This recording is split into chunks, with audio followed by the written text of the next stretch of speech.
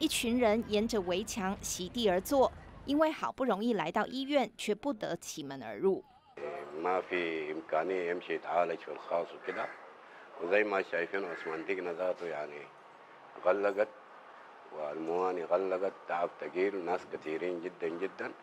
المرضى كثيرين والمعاناة شديدة خالص 这里是苏丹唯一的海港——苏丹港。 自从四月中旬内战爆发以来，已经有超过十万人逃到这里。除了因为这座城市在政府军控制下相对平静，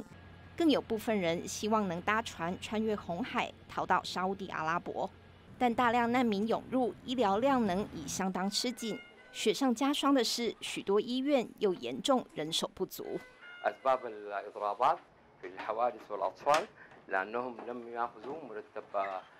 ثلاثة شهور وتم حل المشكلة إنه أخذوا مرتب 50% من مرتب شهر واحد وحاليا نحن لم نصرف أي مستشفى بقريفي أو طرفي أو داخل بورسودان من بقية المستشفيات ما عدا تم صرفهم 50% مستشفى الحوادث ومستشفى الأطفال